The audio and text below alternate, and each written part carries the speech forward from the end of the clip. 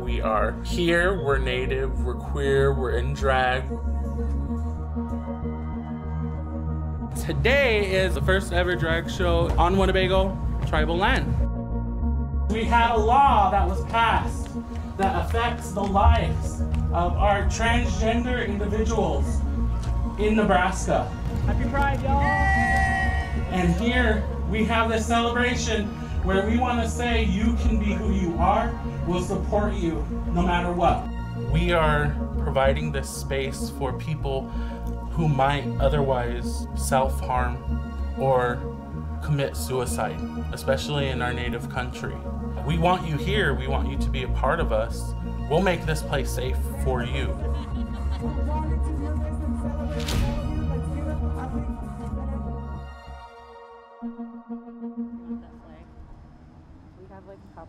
Do you want the flag?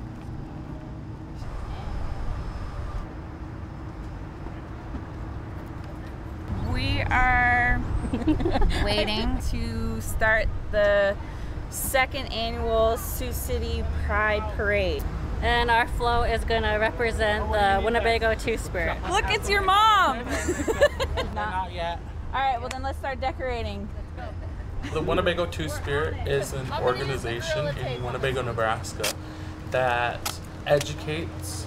Do we want it higher or I do we think it want should it be lower? staggered around like how butterflies are. Yeah, I agree. Reacclimates, gives visibility, and welcomes anybody to be a part of a Two Spirit community. It's important for us to be out here because there's not a lot of native visibility when it comes to the Two Spirit. Like if you look around, there's a not a lot of diversity here. I was like, where are they here? Look, there's on a big teepee moving. I was like, follow the teepee. It's a walk, not a run. Take your time. Make them watch, please. You know what I mean. Make them watch, baby. Happy Pride. So if you are native and you belong to the LGBTQ, you can call yourself Two Spirit. You don't have to be just one of the letters. You could be all of the letters. You could be none of the letters. A snack while you're standing there, right? It's however you want to define yourself. This is my grandmother, and this is her older brother, Wayne Tyndall. Wayne was a gay man, and he ran for council and became the chief of the Omaha tribe. That had a huge impact on my life, my family's life, that is a couple of the cast and myself. And I think all of these drag queens are going to be there at the um, Red and Wild show. So Friday we have our annual Pride event. In the evening time we have our Red and Wild drag show. It is the first drag show on Winnebago land. And it's important that we do it now because of the legislature in Nebraska and across the country. The Nebraska legislature banning gender affirming care for those ages 18 and younger. Trans kids who experience anxiety, it's not because of who they are, it's because of bullies like Senator Kathleen Kauth and the rest of you who are going along with her. Tennessee Governor Bill Lee has just signed a bill that would restrict drag performances. It's already a record year for states aiming to restrict transgender rights. That is trying to demonize or vilify or criminalize people who are trans drag entertainers. Oh, this one's a really good one. My name is Citrus. I would travel far away, hours away, and perform in, you know, big cities. And then I decided, hey, I need to start performing here. I want people to know that I'm here.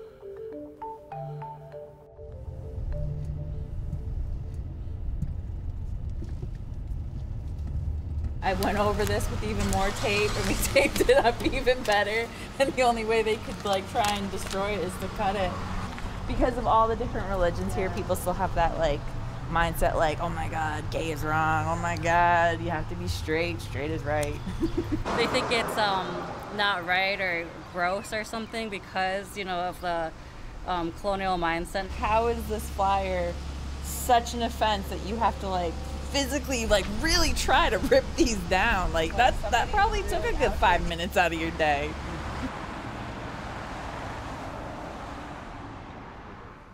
a lot of people who are drag queens are not native.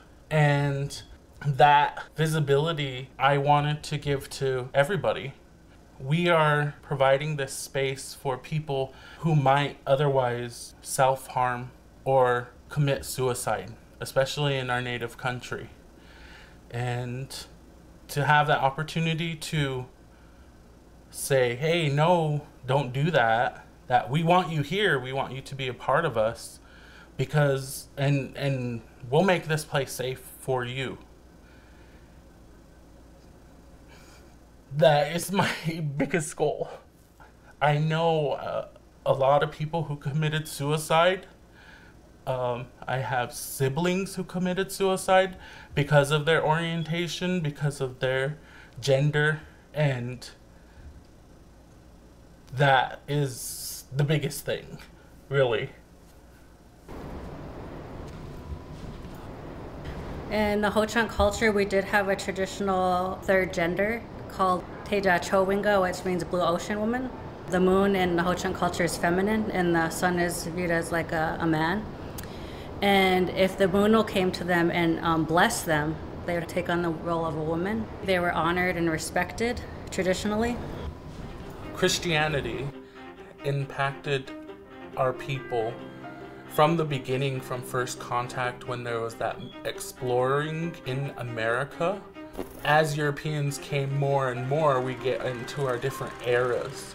And one of the big ones, especially for Two Spirit people, would be the boarding school era, where they removed children and they took them and abused them and they shamed them about every single aspect of their being.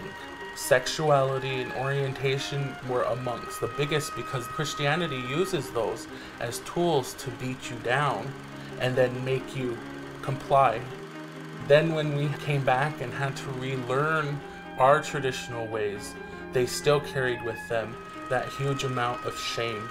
But prior to that, I know my people were not ashamed whatsoever of anybody who was two spirit. That's why I am trying to shake that shame. So he has two Progress Pride flags, the Two Spirit Pride flag. I think he has the United States flag with the rainbow. A couple nights ago, some teenagers egged his house because of we're assuming because of those flags and because of our flyers and there's just a lot of microaggression going around. When people ask me well what's two spirit? That's not a simple answer. It's so much more than what you realize because we don't have that european mindset. People other people view it they view it from yeah the colonial perspective and they try to put these labels on it and they'll say oh so two spirits trans or two spirits lesbian or two spirits this and and you're like no it could be all of those things or none of those things because it's an individual that um, would identify or they're they're the ones that define it through themselves. So every two spirit person is different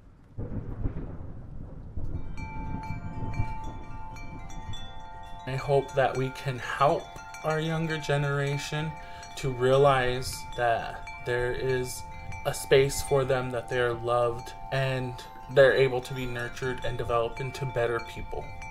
It feels nice knowing that like we can express who we are.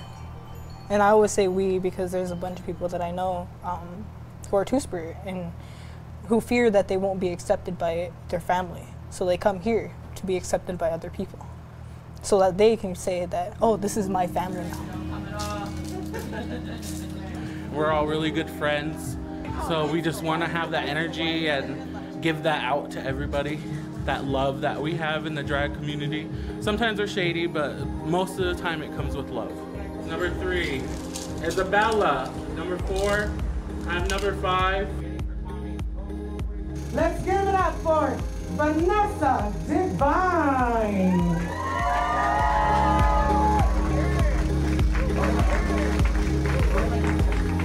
Are here we're native, we're queer, we're in drag, we're gonna have fun and enjoy our being, our life. I hope that they see this as their you know, beacon. I hope that they learn that there is a community here for them to love who they are.